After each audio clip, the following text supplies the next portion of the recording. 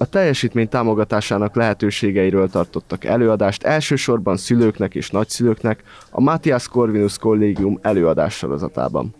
Östör Anna Mária, aki maga is négy unokával büszkélkedhet, fontosnak tartja, hogy az MCC-nél a gyerekek tehetséggondozása mellett a szülőkkel együttműködve stabil mentális hátteret teremthessenek. A mai előadás, és még több az év folyamán, arról szól, hogy hogyan értsük meg könnyebben a gyerekünket, hogyan tudjuk az ő szemüvegén keresztül nézni a világot, hogyan értsük meg az ő problémáit, hogyan könnyítsünk azon a nem egyszerű generációs határvonalon, ami minket elválaszt. Az előadást Sárkány Dominik, a mindössze 27 éves pszichológus tartotta, aki fiatal korának köszönhetően közelebbről ismeri és jobban megérti a mai generáció problémáit.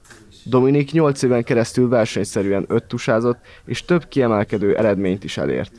Itt kezdett el érdeklődni a különböző mentális problémák és azok kezelése iránt. Van egy egyéni kapcsolódásom, én 20 éve eh, vagyok benne a versenysportolás világában. Ez az öttusázással kezdődött, ott kapcsolódtam bele a versenyzésbe, és igazából annyira azt éreztem, hogy egy új világ nyílik ki, amikor a mentális felkészülés is bekerült a sportoló életembe, és ez teljesen elragadott, és így jött a pszichológia is, és utána azóta meg most itt találtam magam.